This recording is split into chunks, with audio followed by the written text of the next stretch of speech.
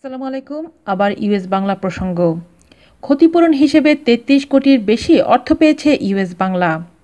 নেপালের কাঠমান্ডুতে বিমান দুর্ঘটনায় বিধ্বস্ত বিমানের ক্ষতিপূরণ হিসেবে ৩৩ কোটি সাতত্রিশ লাখ ষাট হাজার টাকা বিমা দাবির অর্থ ইউএস বাংলা এয়ারলাইন্সকে পরিশোধ করা হয়েছে বলে জানিয়েছে সাধারণ বিমা কর্পোরেশন।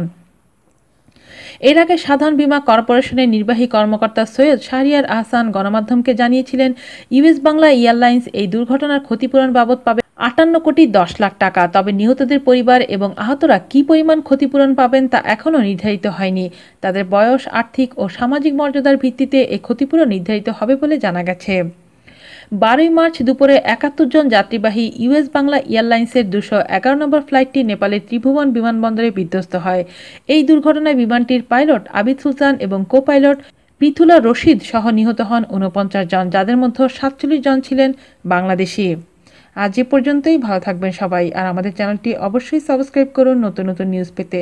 আল্লাহ হাফেজ।